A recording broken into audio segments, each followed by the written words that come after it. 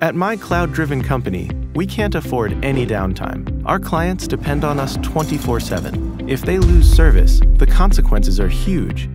So when we added to our data center, we needed a highly available, fault tolerant system to keep our cloud services up, meet our clients' demands, and help our business grow.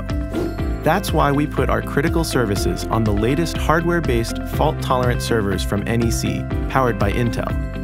In a single NEC Express 5800 server, our applications run in two places at once. That way, if a component goes offline, the other takes over instantly. Our applications keep running, and our users are none the wiser. The NEC Express 5800 delivers scalable performance.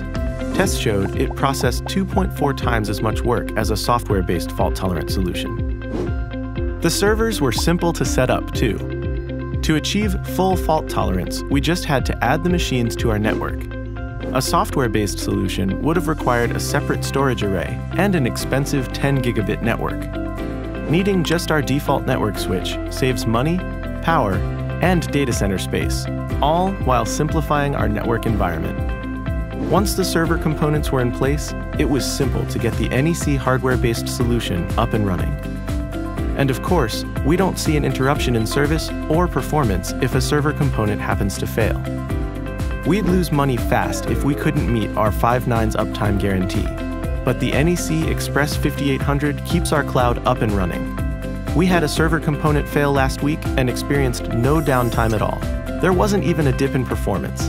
And when you can't afford downtime, that's a beautiful thing.